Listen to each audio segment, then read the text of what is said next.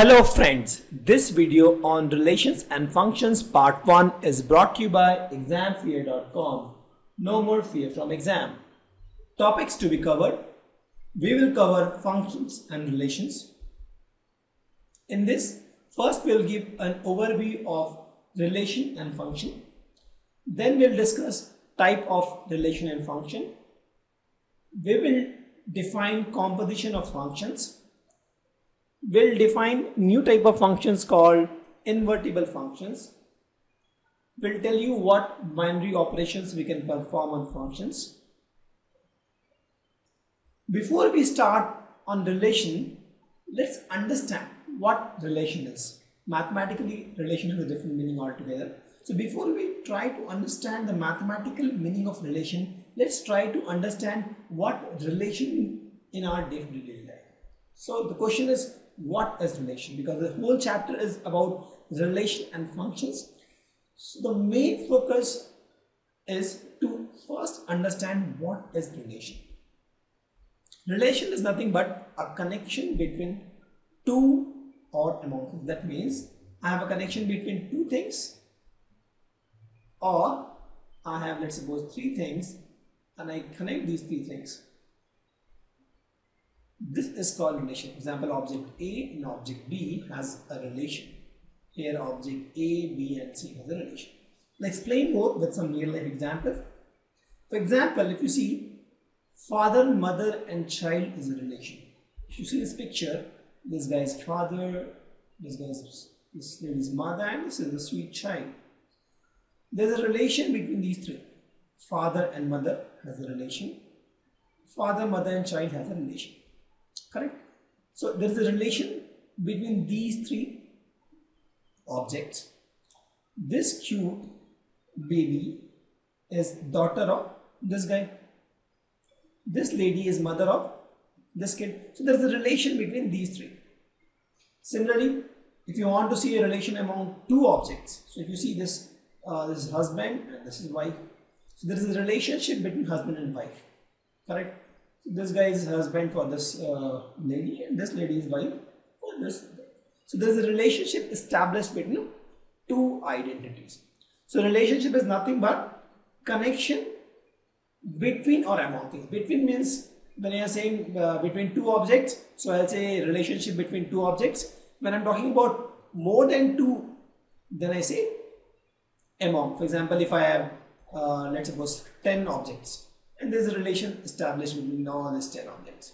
Then I say the relation among 10 objects, correct?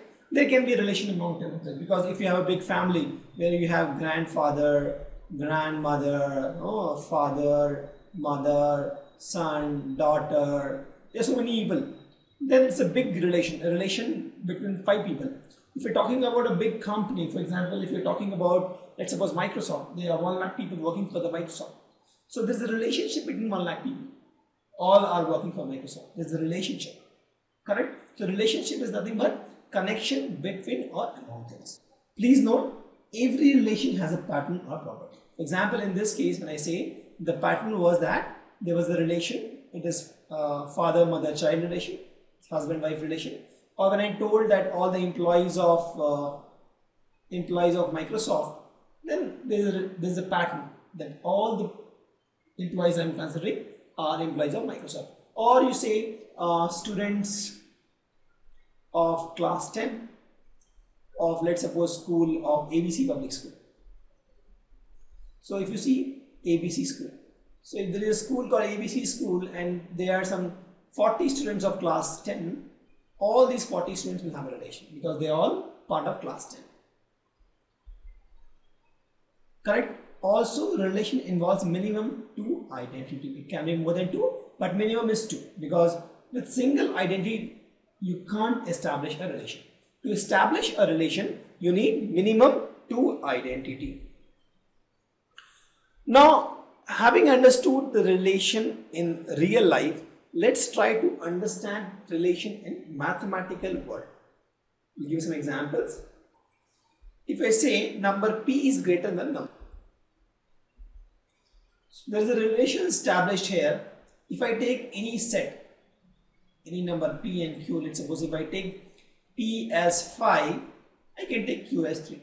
So there is a relationship between P and Q that is P is greater than Q. Correct? So if I say 5 comma 3, it is a relationship as a P comma Q is nothing but 5 comma 3. It is a relationship between P and Q where P is greater than Q. If I say line M is perpendicular to line N, let's suppose. This is also a relationship because let's suppose there's a line M here and this is the line N here. There is a relationship between these two lines. That is, line M is perpendicular to line N. A is a subset of set B. So let's suppose if I have a bigger set B, in this set I have a smaller set A. So here also if you see there is a relationship between set A and set B. That is A is the subset of bigger set B in terms of sets. If I say that in a right triangle, if in a right triangle, if this is perpendicular, this is base and this is height, then p square plus b square is going to s square, s square Pythagoras theorem. It is also a relationship. It is the relationship between three sides, p, b and h for any right triangle. So this is also one example of relationship in the mathematical. So with this, I think you have a fair understanding of what is relation. Relation is nothing but relation between two or more than two objects.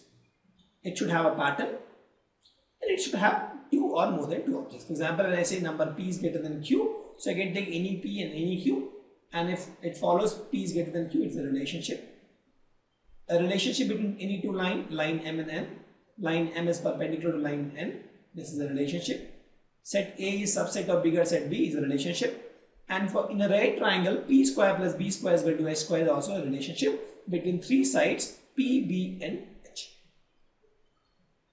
Now, having understood the concept of relationships, relations in real and mathematical world, let's try to understand the concept of functions.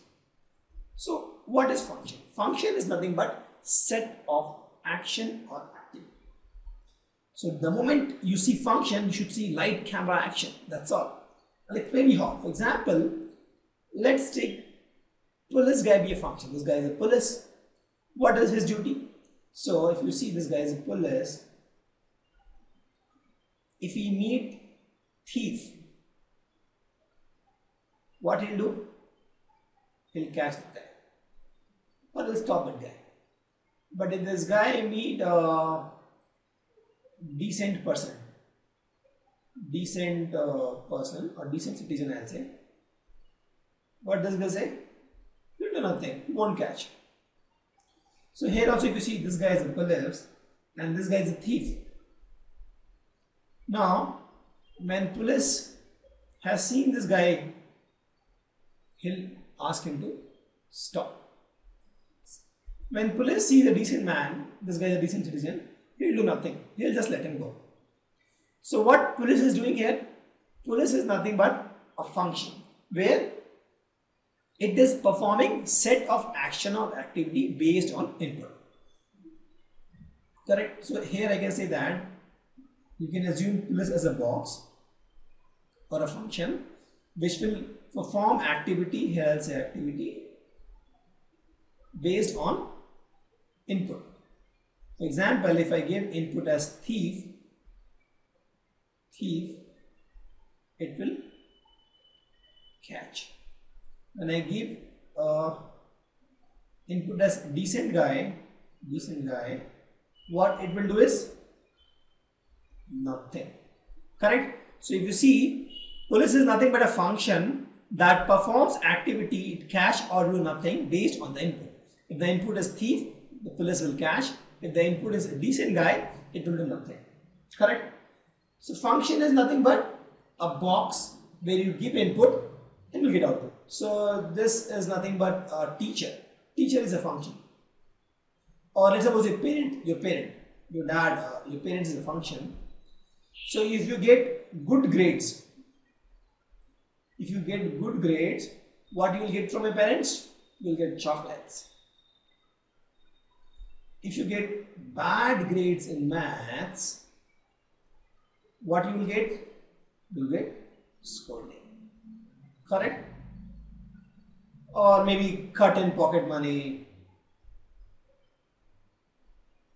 or any kind of punishment anything depending on how your parent is so if you see here parent is nothing but a function that is performing some activity it is sometime giving you chocolate sometime giving you scolding so scolding and chocolates giving chocolates are nothing but activity and that is based on your input. If you're getting good grades, you're getting chocolates. If you're getting bad grades, you're getting scolding.